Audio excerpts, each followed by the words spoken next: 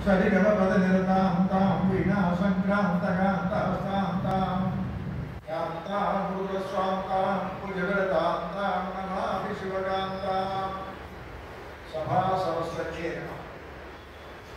ఈనాడు శ్రీపాద కృష్ణుడు శాస్త్రి యొక్క నూట యాభై మూడవ జయంతి మహోత్సవాన్ని ఆంగ్ల తేదీని పురస్కరించుకొని నిర్వహించడం